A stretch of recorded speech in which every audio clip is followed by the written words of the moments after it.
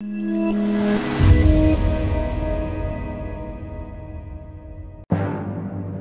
it's Wyatt.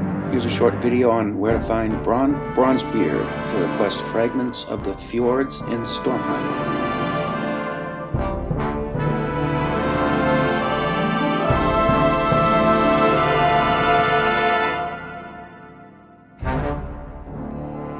This one's very easy. You just fly into Valdisdall, and then you take the path to the west. As soon as you cross a covered bridge, you go to the right, and he'll be in a little camp behind a bunch of uh, rocks.